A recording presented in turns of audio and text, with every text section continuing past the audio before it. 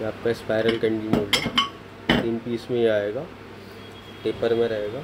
आप इसमें स्टैंड बनवाना चाहें, इसमें स्टैंड भी बन जाएगा। ये होल्डर के लिए होता है।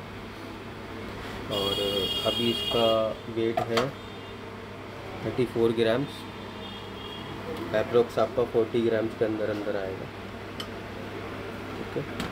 आप इसका लुक देख सकते हैं, कैसा डिज़ाइन है इसका। सिग्नेचर आइटम है हमारी शॉप की मैं आपको इसमें धागा लगा कर दिखा देता हूँ।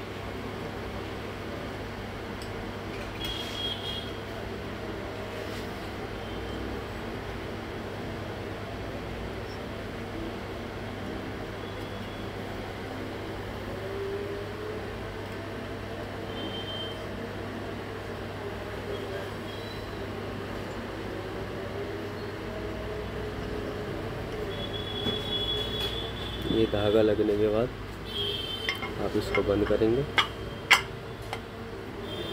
इसका क्लिप है क्लिप लगाएँगे। इसमें आप वैक्स डालेंगे। वैक्स डालने के बाद छुरी से आप इसको चाकू से कट करेंगे यहाँ से और यहाँ से कट मारेंगे। इसका आप क्लिप खोलेंगे। क्लिप खोलने के बाद आपका कैंडल रेडी ठीक है?